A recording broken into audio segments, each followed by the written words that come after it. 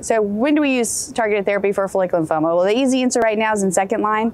We've got uh, the AUGMENT study, which is lenalidomide in combination with rituximab, which led to a significant improvement in progression-free survival over rituximab monotherapy, but also an improvement in overall survival for the follicular lymphoma patients enrolled on that study. And if you think about a disease where the natural history is 20 plus years, that's impressive. In that third line or later space, it gets a little bit more complicated, but targeted therapy is my answer. You've got EZH2 inhibitor, tazemetostat for the mutant mutant population, but it also works in the wild type population and the safety profile is so favorable that you could consider that if you don't have an alternative option.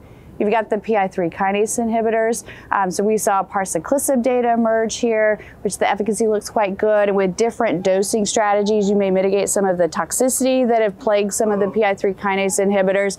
And we got CAR T. So we saw an update to ZUMA-5 here, where the median PFS looks pretty quite impressive in a very high risk more heavily pretreated population.